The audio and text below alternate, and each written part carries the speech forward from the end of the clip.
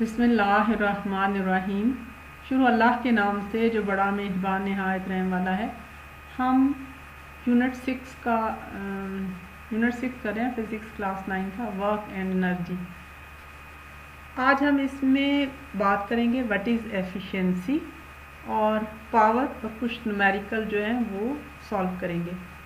तो what is efficiency किसी चीज़ की कारकर्दगी क्या होती है? तेज़ स्पीड के साथ थोड़ी कीमत में अच्छा काम करना। हाई स्पीड हाई क्वालिटी और लेस कॉस्ट प्यारे बच्चों, कभी आपने सोचा है कि वो शख्स जिसको रास्ता मालूम ना हो, कहीं मंजिल तक पहुँच सकता है? वो तो घूम फिर के जहाँ से चलेगा, वहीं आ जाएगा या परेशान खड़ा रहेगा, कभी एक रास्ते पे जाएगा, कभी दूसरे सड़क पे जाएगा। लेकिन वो बंदा जिसको मालूम है कि उसने किस तरफ़ जाना है, वो सीधी सड़क को पे चलना शुरू करता है। बेशक उसकी स्पीड आहिस्ता ही हो तो इन उम्मीद है एक दिन वो मंजिल पे पहुँच जाएगा। बिल्कुल हमारी ज़िंदगियों का भी यही हाल है। अगर हम डिसाइड कर लें कि हमने सीधे रास्ते पे चलना है तो हम कभी भूल भुलैयों में गुम नहीं होते। नबी करीम वसल्लम ने फरमाया, मैं तुम्हें दो चीज़ें छोड़कर जा रहा हूँ। अगर तुम उन्हें मजबूती से थामे रखो तो कभी गुमराह नहीं होगे। एक कुरान मजीद, दूसरी मेरी सुनत तो अल्लाह ताला ने हमें दुआ भी सिखाई है। हम हर सूरत रकत में पढ़ते हैं अहद नसरात मुस्तकीम। तो वो सच का रास्ता है जिस पे अम्बिया चले शहीशोदा और सिद्दीकीन चले तो हमें भी ज़रूरत है, हम सच बोलें, सच का रास्ता इख्तियार करें। How to get work done from a machine हम किस तरह से एक मशीन से काम ले सकते हैं? आपको पता है कि मशीन से काम लेने के लिए we provide some form of energy to a machine हमें मशीन को किसी ना किसी तरह की एनर्जी प्रोवाइड करनी पड़ती है, फिर मशीन काम करती है। This is necessary for the machine to work ये मशीन के लिए बहुत ज़रूरी है कि वो काम तब करे जब उसको जो है वो ज़रूरी एनर्जी मुहैया की जाए। Human machine also needs energy to do a variety of work इसी तरह जो हमारी इंसानी मशीन है उसको भी तोानाई की ज़रूरत होती है ताकि वो मुख्तलिफ़ काम कर सके। अब सवाल ये पैदा होता है कि जो हमें आ, हमारी मशीन को एनर्जी की ज़रूरत होती है वो एनर्जी कहाँ से आती है? We take food to fulfil the energy needs of our body हम जो है खुराक खाते हैं जिससे हमारी जिसम की तोानाई की ज़रूरतें पूरी होती हैं क्योंकि हमारा, हम जैसे खाना हज़म करते हैं, हमारा दिल धड़कता है, सांस लेते हैं, ये सब चीज़ें तोानाई पे चाहिए होती है। We give some form of energy to machine as input to get useful work done by them as output हम एनर्जी इनपुट देते हैं जिसकी वजह से मशीन जो है वो काम की सूरत में हमें आउटपुट देती है। How good a machine is depends upon how much output we obtain from it by giving certain input. एक मशीन कितनी अच्छी है, ये इस बात पर मुनहसर है कि हम कितना काम उससे लेते हैं जब हम उसे एक सर्टन अमाउंट ऑफ़ इनपुट देते हैं the ratio of useful output to input energy is very important to जज the working of a machine जो तनासब होता है आउटपुट टू इनपुट एनर्जी ये बहुत इंपॉर्टेंट है और इसी से हम किसी भी मशीन की वर्किंग का अंदाज़ा लगाते हैं। ये जो रेशो है output to input this is it is called efficiency of a machine ये किसी भी मशीन की एफिशिएंसी कहलाती है। मशीनें मुख्तलिफ़ हो सकती हैं इंडस्ट्रियल मशीन्स हो सकती हैं होम अप्लाइंसेस हो सकती हैं। लाइट बल्ब हो सकता है। The work you put into a machine is exactly equal to the work done by the machine जितना हम जो है इनपुट डालते हैं, उतनी ही मशीन आउटपुट निकालती है। लेकिन ये एक आइडियल सिचुएशन में है कि आप जितनी एनर्जी लगाते हैं, उतना ही काम होता है। असल में हमेशा उन इनपुट जो है, वो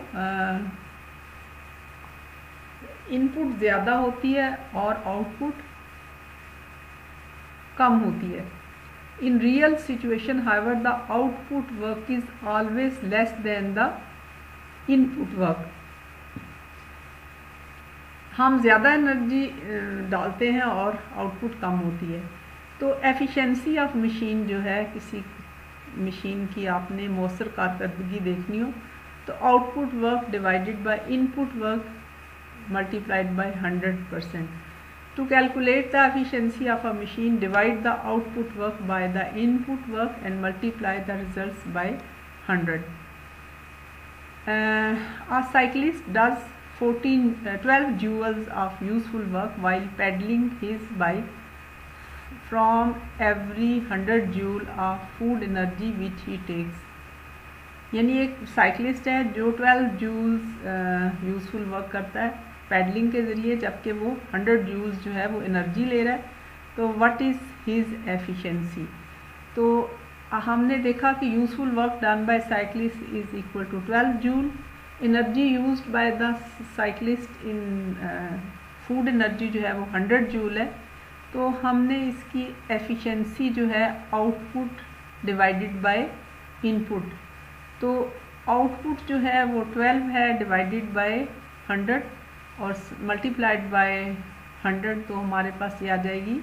एफिशिएंसी परसेंटेज जो है ट्वेल्व परसेंट है। इस तरह से हम किसी भी मशीन की एफिशिएंसी जो है, वो फाइंड आउट कर सकते हैं। तो आपने देखा कि इनपुट जो है, वो तो हंड्रेड है और आउटपुट सिर्फ़ ट्वेल्व जूल है। अब हम बात करेंगे power what is power in physics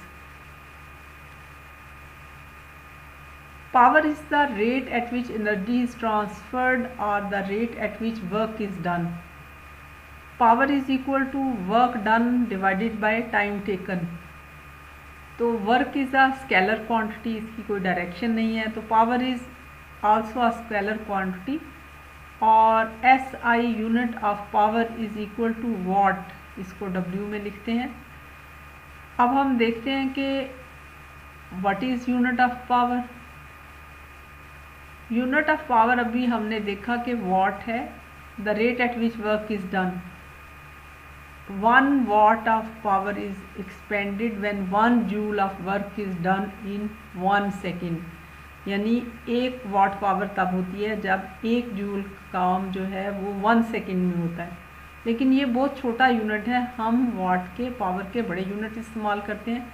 मसलन one kilo watt is equal to one thousand watt ten raise power three watt one mega watt is equal to thousand thousand watt ten raise power six watt और one horse power is equal to seven forty six watt अब हमारे पास एक problem है. There is a man M one who lift a load of two hundred newton to a height of ten metre and time taken by him to do this work is 80 second एक दूसरा आदमी है M2 वो यही काम जो है 200 load newton का लोड जो है 10 मीटर की हाइट तक 10 सेकेंड्स में लेके जाता है।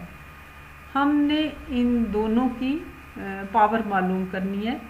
फाइंड पावर ऑफ़ ईट तो आ, हमने देखा कि फोर्स जो है वो 200 न्यूटन है दोनों की, और डिस्टेंस भी सेम है 10 मीटर तो work done is equal to F into S two thousand joule तो दोनों M1 और M2 ने काम जो है, वो 2000 जूल का किया.